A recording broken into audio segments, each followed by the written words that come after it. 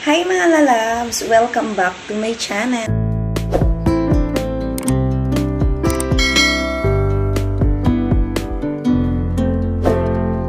Hi mga lalabs! In this video, gusto ko lang i-share sa inyo yung aking um, pothos plant and then uh, si pothos plant mga lalab is malaki na yung leaves niya kasi galing siya dun sa ano sa pot tapos, ang nangyari, gumapang siya doon sa pader, kaya lumalaki yung leaves niya.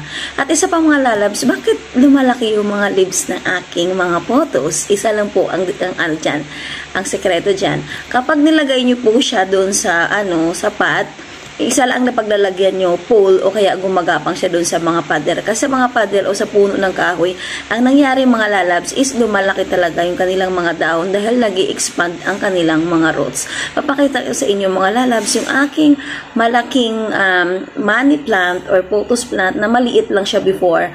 Pero dahil gumapang siya doon sa pader, ang laki-laki na ng mga leaves niya mga lalabs. I-share ko sa inyo. Ang ganda. Tapos, ang ganda niya pang display sa loob ng bahay. Pwede mo rin siya uh, ilagay dun sa, ano, uh, sa harapan ng pintuan nyo. Kasi si money plant is uh, lucky plant siya.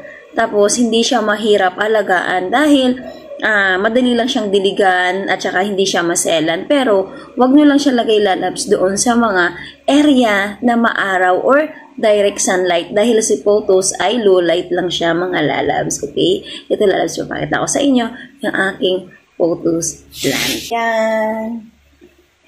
Ayan lalabs, oh, kita ang lalaki-laki ng mga dahon niya. Ito medyo nasira lang to kasi uh, kinuha ko pa siya 3 days ago and then hindi ko siya naitanim agad. So, ang nangyari, yung leaves niya, ayun, medyo, pero maganda pa naman. Ayan. Imagine, mga lalabs, galing siya doon sa maliit lang na leaves, and then, gumapal lang siya pader, ito siya, naging giant photos plunge. Ang laki yun. Ang ganda. Yan, di ba? Sobrang ganda niya. Parang ayaw ko pa nga to kunin eh. Kaya lang sabi ko, ayaw ko maiwan siya doon sa bahay. Kasi doon to galing sa kabilang bahay namin. So sabi ko, ay bitbitin ko to. Gustong gusto ko to. Grabe, ang galing lang talaga siya sa maliit. As in, maliit lang na leaves.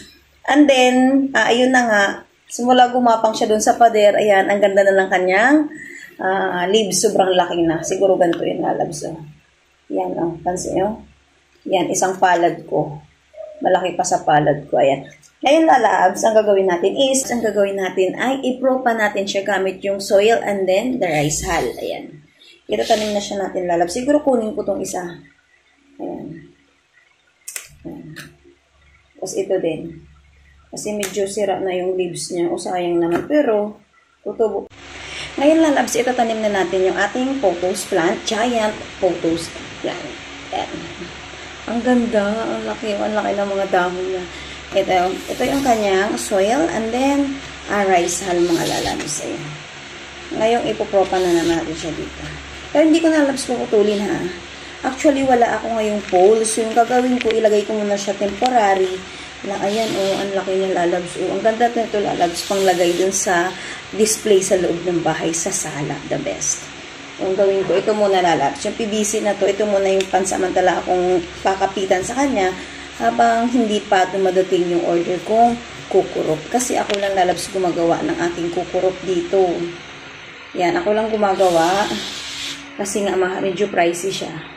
So, ginagawa ko, yun nga, bibili akong PVC, tapos dinidikit ko lang siya dun sa PVC. Tapos, yun, ilagay ko na dito siya, aking plants. Ayan. Temporary lang talalab siya, kasi pag dumating yung, ano ko, yung kukurop ko, lalagyan ko na to ng kukurop. So, dahil, may, ayan, dahil medyo malaki naman yung kanyang uh, butas ng PVC, dudugtong tayo lalabs. Yan. Alam niyo ba kung bakit lumalaki yung sa PVC mga lalabs? Iniinit lang siya lalabs para maging lumalaki. Initin siya, tapos siksik lang siya, siksik lang siya sa maging ganito siya, para kapag kayo ulit ay, uh, uh, kumbaga, nag-short doon sa tinatanim nyo, is madali lang siyang dugtungan. Kasi hindi naman siya dudugtong mga lalabs kapag hindi mo iniinit itong PVC na to para pumasok yung isa. So, yun. Ang ganda niya. Kaya paborito ko mga lalabs yung mga money plant, rose plant. Isa sa mga favorite plants ko ito mga lalabs. Ang ganda, ayun oh. Ang laki na ng dahon na. So maganda talaga kapag uh, pinagapang mo siya dun sa ano, sa uh, pader kasi lumalaki. Kahit sabihin mo, binili mo siya na maliit pa yung leaves niya, pag pinagapang mo sa pader mga lalabs, ito yung mangyayari. Lumalaki yung kanyang down at nagiging So ito na lalabs yung ating money plant or giant photos plant. O di ba ang ganda? Pwede na siya lalabs i-display din sa sala nyo. Ayan na. Temporary pa lang ito lalabs pero ang bongga na. Pero of course lalagyan ko to ng kukurot itong PVC na to. Di ba ang ganda? Pwede siyang i-model lalabs. Oh. Ang ganda.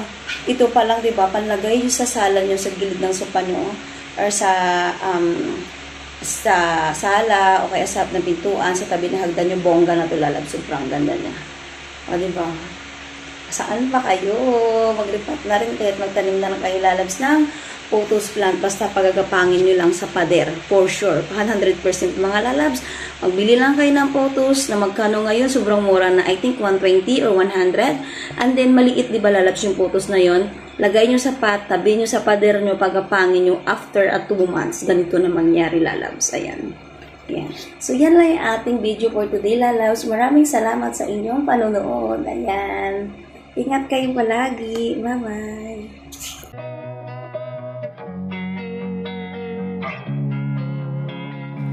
Losing time, I'm fading fast. I just wanna make it last. Try to let go of the past. I close my eyes, embrace the blast. Sleepless